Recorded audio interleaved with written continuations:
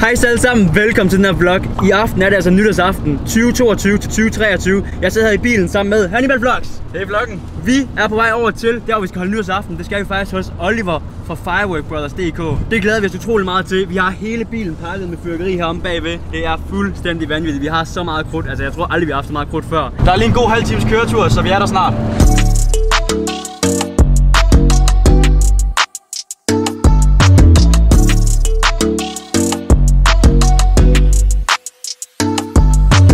Så ankom vi altså til stedet, hvor vi skal holde nytårsaften. Og øh, er vi magt klar, eller hvad? Vi er max klar, mand.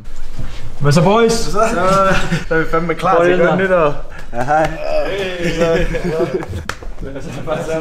Så er det altså her, vi skal holde nytårsaften. En masse fyrkeri i hvert fald for Firework Brothers. Og herovre der har vi bordet, hvor vi skal spise. Konge nytår. Det bliver fedt. Det er genialt.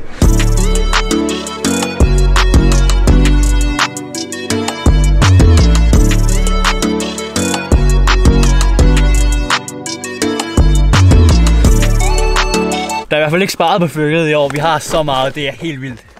Så har vi efterhånden fået sat det hele op. Vi har mit fyrkeri her i den her ende, og herover har vi Hannibals fyrkeri. Så synes jeg, I skal se mit i stedet.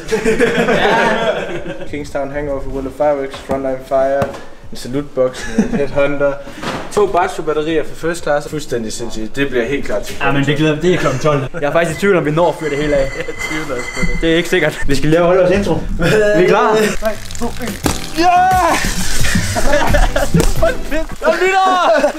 Velkommen til den her video. Vi har lige spurgt en champagne, som vi lige kan se. Så fik de andre lavet deres intro. Det var ret sjovt det der. Det er en fed intro. Vi er klar med aftens første fyrkeri. Hvad er det, Valør? Royal Compound her. 1265 gram. Så er der lige blevet klokken Nå. 12 batteri. Og hvad er klokken? den er ikke engang 5 endnu. Vi går i gang nu her.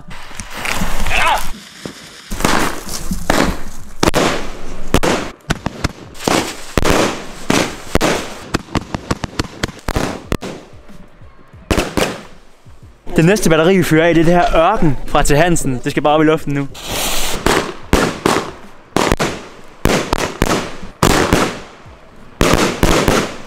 Så er det altså tid til at prøve en af de helt store batterier. Vi prøver det her Apollon. Vi tester det. Jeg har ikke set det før.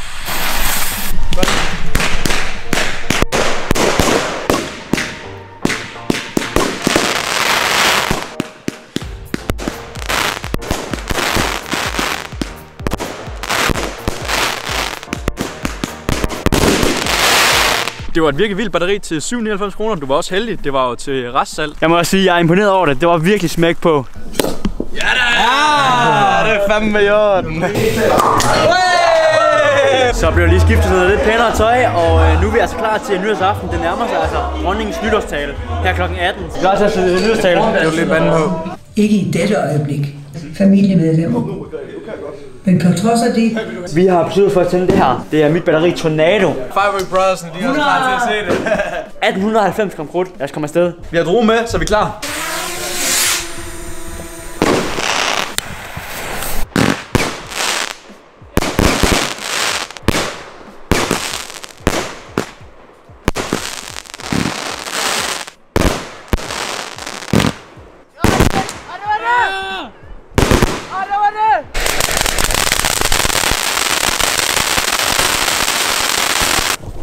Vi har øh, Pango fra First Class Firework.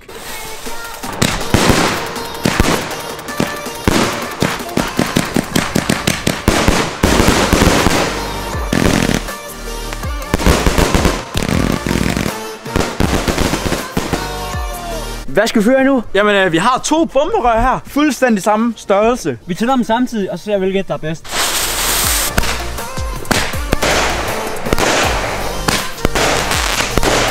Jeg tror altså, det der det er samme leverandør, fordi de er fuldstændig ens. Jeg kunne heller ikke se forskel. Det er det menuen. Oliver står for. Er der kan finde ud af at lave mad? Jeg kan slet ikke vente med at få noget mad indenbords. Jeg er også ved at være sulten nu her.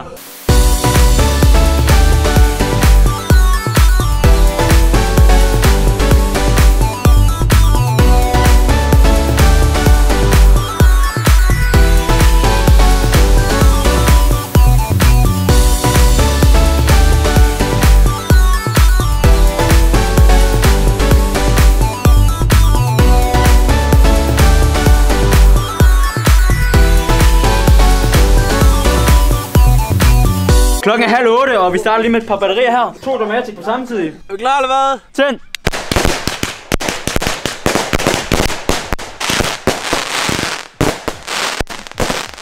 Det var jo kun 30 sekunder der, det var ingenting altså. Frontline Fire, 128 skuds batteri, 1000 gram, 50 sekunder siger den.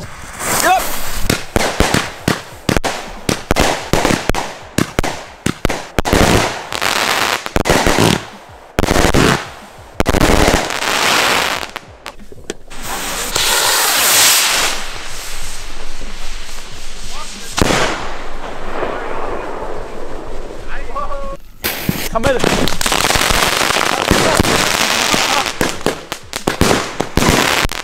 Øj! Vi har ikke drukket ret meget, inden vi tager det her, så det er stadigvæk for, rigeligt forsvarligt at skyde fyrværkeri af. Så husk at følge sikkerhedsrådene. Hey, wait, wait, wait. Pas på en idiot. Glædelig 90 års fødselsdag!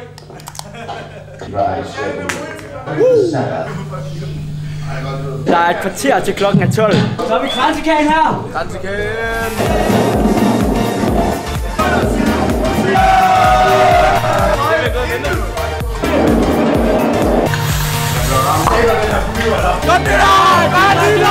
Let's go!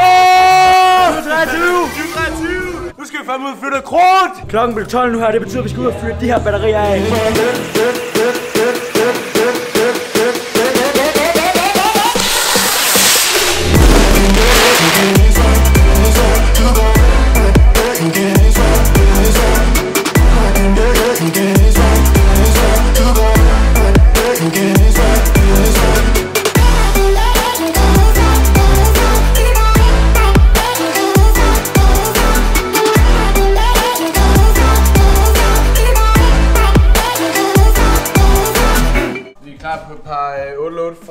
First class, alle sammen. Har simpelthen. Vi har tre overloads her. Dem tænder vi nu. Kom så, Oliver. Let's go, vi starter med etteren. Ja.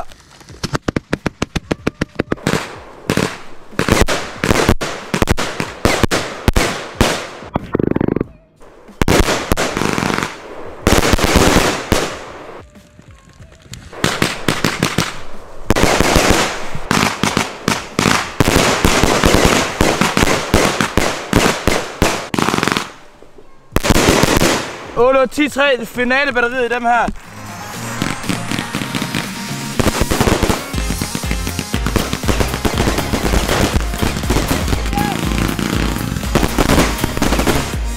Så prøver vi uh, tre Red Power på samme tid. Nu håber jeg ikke, det er det bassnummer, som uh, kommer til at fyre af. Lad os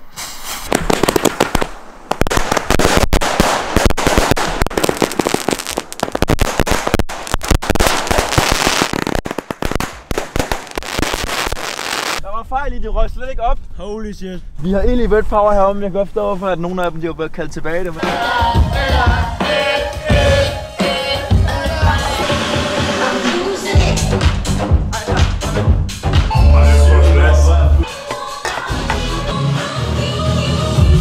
Så blev klokken altså 4 om natten. Vi hopper i seng nu her, og så vågner vi nok klokken 11 cirka. Vi siger godnat herfra.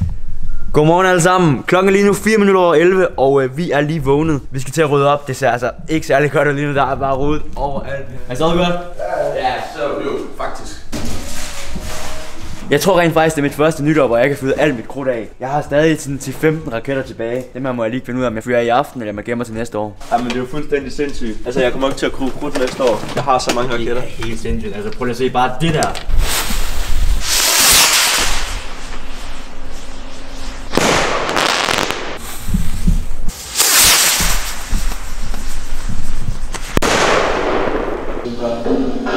Skal vi have noget momma. Lad os bare få noget at spise.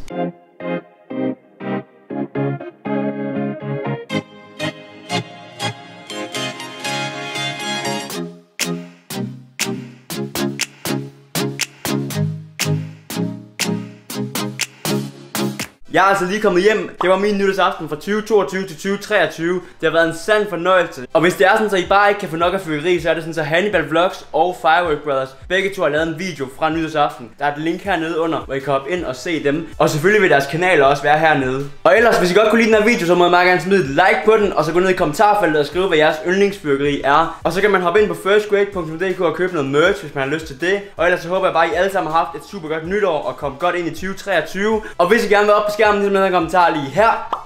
Så skal I selvfølgelig bare abonnere og trykke på klokken, så der er mulighed for det. Ellers så tager vi bare herfra, så tusind tak for at se med. Vi ses en anden gang YouTube. Hej hej.